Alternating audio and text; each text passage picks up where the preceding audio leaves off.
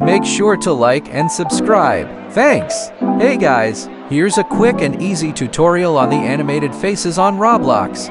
First, I went to the catalog. Click on Heads. It should be right there and there are three styles that are free.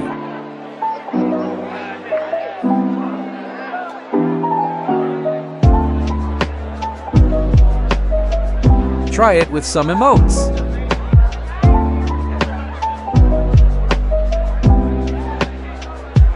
This is a great update. Remember to like and subscribe for more videos.